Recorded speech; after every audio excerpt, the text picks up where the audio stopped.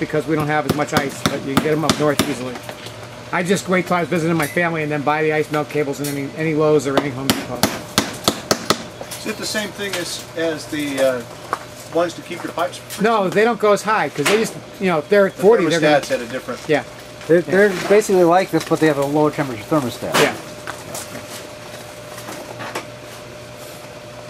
And we're just make, you're making sure that, that it never crosses itself. Right. If it crosses itself, it'll overheat, Right. melt the thing, melt and short out. insulation. A few more of those stables. Yeah, yeah, yeah, great. And the ice melt cables at about 70 or so constant. No, no, you're gonna need a thermostat for them. Oh, They, you have to set your own thermostat for those. They don't come with thermostat. Thank you. And so the remote bulb thermostat that we recommend that's on your handout costs about 56 bucks. Oh, okay. I run, Greg set it up, he put an outlet so I could run two tables. You know, we plug, we plug the cables in so I could run two tables on one thermostat. Mm. We'll go into that in this other one Yeah, yeah. We'll show you how that's done. We unfortunately bought this unit with the thermostat and somehow too many people here got lost. So I had to go out and buy another one. Of course, they didn't have the fifty-six dollar one. I had to buy the seventy dollar We one. got enough to do more down here, Like someday we'll find that thing. It's somewhere, you know. Sure. Just too many people, you know.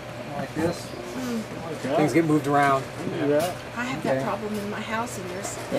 My there's mom only three of us Yeah, left right. No, there now. yeah, that's how it is. It's the nature of life. You know? I should have known. I should have written, "Must have for germination chamber. Please leave here, don't. or tell me where you put it." You know. If you told me that, I wouldn't have done it. Now he admits So it's it. your fault that I. No, we And it's on camera. Rocco, I figured that had to be the case. Funny, you know? Rocco. Look like junk to you, I'm sure. You know. Bruce sometime. Oh See yeah. how that flies.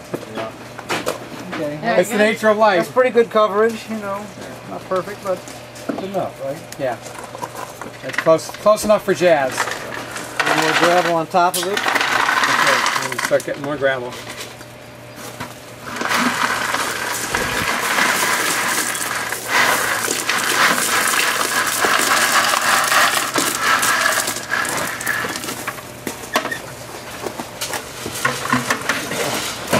And then you got a heated ballast bed.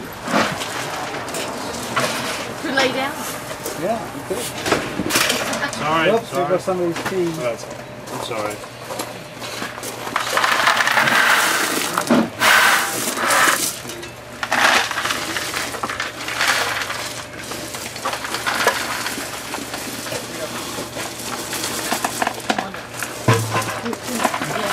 Yeah, just drop the button on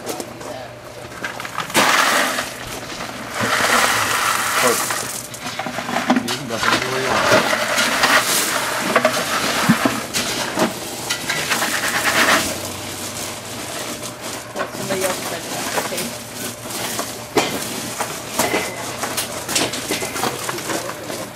Thanks, sir. One thing I can tell you is you don't want to make one of these. Yeah, we get it. Oh, you're all right. That's true. Right, you want to, yeah, just pointed out, you don't want to make this and then move it somewhere. You want to put it where you want, want it to be.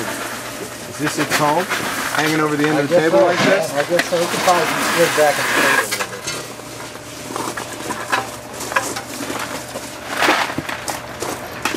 You won't be able to pick it up. Have your hands free.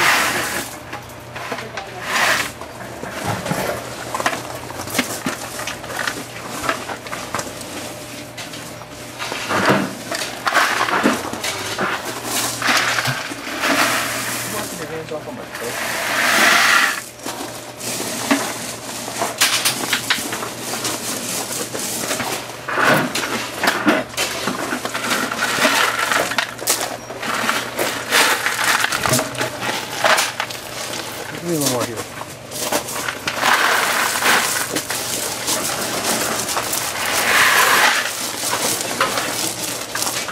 Oh, teamwork.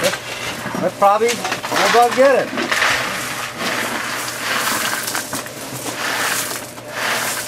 We had to get close. it's Not that big a table.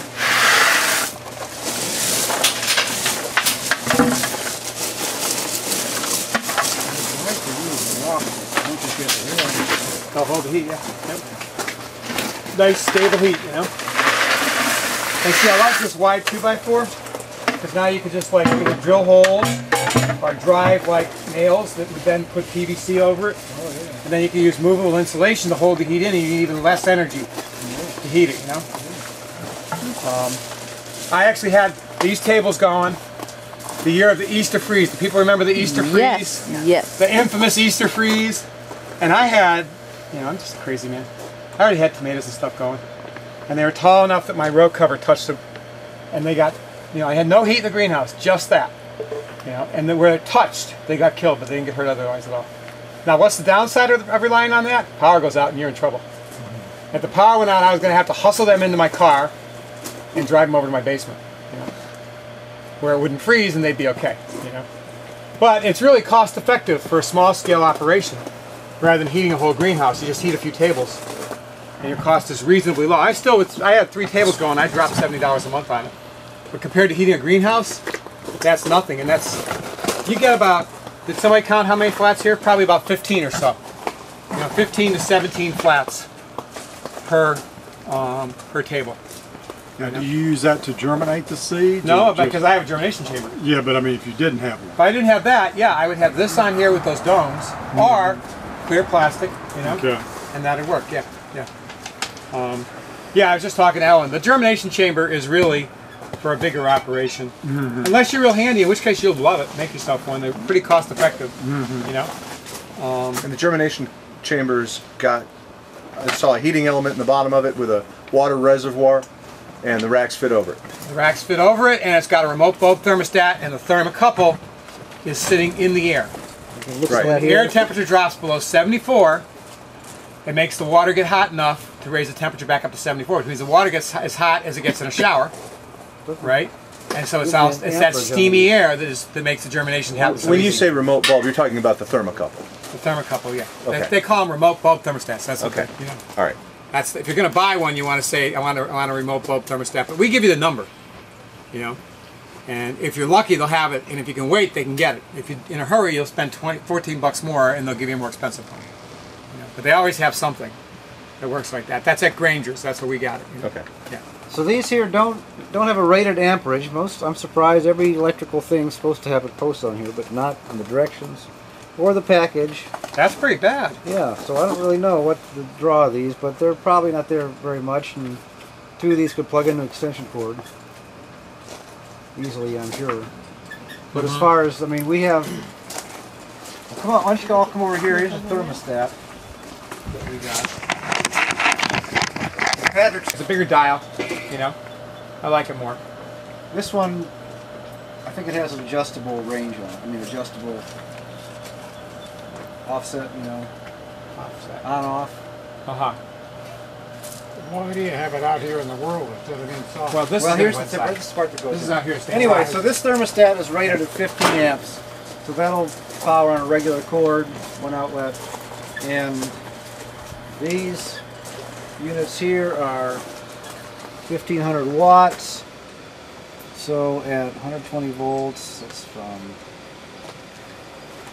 Should prime myself on this. That's like close to 10 amps, I think, them each one. So you're not going to run this on one extension cord. Well, they'll probably work. Two of them, but, but two elements will probably max out this thermostat, I'd say. Uh huh. And we got a 15 amp extension cord, so it'll probably work, but that's probably as much as you want to do on it, I'd say. Uh huh. Oh, and yeah. See, actually, you probably want to get a separate thermostat for the other side. That'd probably be safer, right? Well, we'll, we'll hook them both up to this and see how it works. See how it works? you know? Okay. I hope you're gonna cover that thing so people don't touch No, it. we're not probably because we're not totally safe here, but No, we will cover that. That will not be sitting like that when we Those turn it two on. bolts Yeah. there hot. you could, yeah, I mean, you could screw something onto this. Yeah, we will. Before we turn it on, we'll cover it because we got we got a preschool here. We got kids. You know. yeah, It's I'm your safety manager. yeah, yeah. Thank you, thank you. Okay, Yeah. OSHA approved. You're the OSHA spy, right? So um, I got a cord for this one. I just stopped by Lowe's on my way down this morning. This cost about 15 bucks. Per 48 feet is about It's cheaper than buying a plug and a wire, and it's better. So He just figured out that for 48 feet, uh, this is about 168 watts. So one and a half amps. okay, so that, yeah, that's pretty low. Yeah. How about 100? How about 1500 watts at 120 volts? So what was that originally? A hot table for a restaurant or I think it was made for that. I think Wade went to our oh. local sheet metal worker. Twelve five. Oh. Twelve point five. So this, we may not be able to power two up at once. Okay. We'll try it though. It might, might work. Is this how a hot table, a steam table works? Yeah, basically. So basically. maybe you could buy one of those at a used restaurant. Oh, you probably supply could, but then you'd want to set it on a thermostat build the still. box on top of. Unless you had it, I don't know if they would go down low enough, you know? Ah, okay. Because they're designed to keep might- food hot, you know? Good point. Yeah. So So you this could is- probably figure out a way around that, but you know, Now, if you're you're using your thermostat as the controller, yeah. you could simply throw a relay in there. Well, this A is 20 there's a relay in here. But you could throw a 20 amp relay on that. You could do that. You could add a relay. That's true. See, So you is- definitely are qualified to make one of these. So this is a remote. I approve you. This is a remote bulb thermostat. Here's the bulb. It's remote from the thermostat itself. So this is works on expansion of the gas that's inside. So you want to be careful because that message travels out this tube. So you don't want to crimp this tube. You got to be careful handling that. So this has just got to go in here. I somewhere. put more in the middle. Well, that'll be right by the element. Don't want it right by the element. No, I meant more in the middle in the air. You don't want it down so low to the heat because you're going to false read. You want this air here to be 74 Oh, don't- degrees. I can put this in the water. Or just No, put- it doesn't go in the okay. water. It goes in the air. Okay. Goes in the air. So I'll just put it in this Yeah. crack right here. Yep, there you go. That's why I built it with that crack. I figured as much, You are Rocco. one sharp Yep, individual. Yes. If you just hadn't thrown out the thermostat, everything would be great. You know? Okay, so um, I guess I could just leave it like that. yeah, sure. Yeah. That'll be fine. Rocco, I think we'll just build a box around the wiring, you know, to make it safe. That won't be hard to do, right? No, but yeah, we'll we'll we'll. Yeah. And, um, And around that thing, somebody will come by and catch it. Yeah. Yep. Yeah. Yeah. yeah, thank you, sir. We will clad. We We have will the- clad we have those- we'll clad blue germination pliers If you don't do anything else, you can throw a blanket over it. Yeah, I didn't. Nah. quite No. No. No. No. No. No. I, it does get sealed. Yeah, He just lost his safety inspector position. Right. Yeah. He just got fired. I've never actually. That's the other thing. This connector in the bottom here, this cable connector, probably not going to get three wires through it. Uh huh. So we probably need another. Yeah. Should we just do the one? Yeah. Just do the one. Okay. That's fine. We'll get another thermostat. Okay. We'll go to the landfill and find the other one. That's where it is, huh? I don't know. If you run out, come and see I never need to know. bunch It doesn't matter. It's gone. You know, or maybe it's not gone. But it's not available. You know. We'll always find a use for it if it shows up. You know. Yeah. An old fashioned myself, pack that'd be router, got embarrassing. numerous planks of that kind of stuff. Mm-hmm. I never throw it away. No. Well, actually, um, who was it at that at the um, workshop on? Um, wasn't it Baron? Yeah, Baron went on about how he used it to tie everything. Romance? How Romex was the best thing in the world for tying things, securing things. How fast and easy it worked. How well it held. yeah, well, that's true. Copper wire. Yeah. Clad. Yeah. So it doesn't. Yeah, you can use it. We use pieces to um, tie up our electric fence. Mm-hmm. The insulated, and you doesn't have to worry about contacting the electric part. There actually is a business I read, I think it was in a National Geographic, where we send a bunch of old telephone wires to take down Mm-hmm. over there, and these kids in Egypt take the everything off, and they make all kind of things out of the copper wires and sell them. I just had the experience of telling a, They can just sell it. A really sweet guy who was working for me that, like, you know, it actually is illegal to burn all that construction waste. Yeah. And said, oh, is there anything in there you can't use? I said, painted wood. You can't burn painted wood. You can't burn anything but brush, actually. You know, brush and firewood. Right, you can't. And, um, pardon? You can't. We went through that in the community. They were Yeah. burning that stuff in the shed. Yep.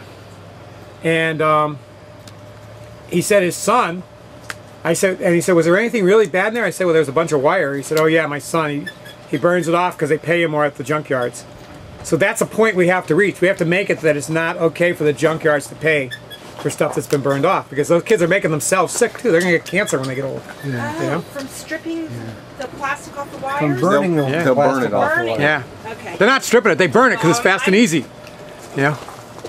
My really boys, I neat. Made them cut cut it You off. know, Yeah, Sit good. here and watch the TV copper and wire cut the that's wire a off, and twisted little come and wires it. carries more electricity than the solid one. Mm-hmm. And see, they soldered the very end so they wouldn't unwrap. Uh -huh. I mean, I, that's my idea of somebody that really cares. Yep. More surface area carries Yeah. more current.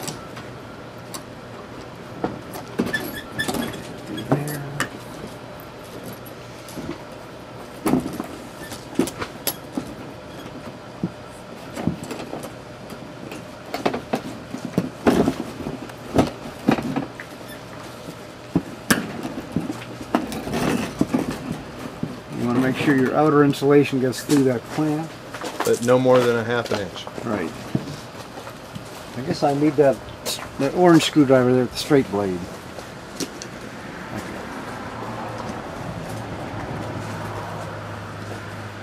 This is an old old clamp, no Phillips.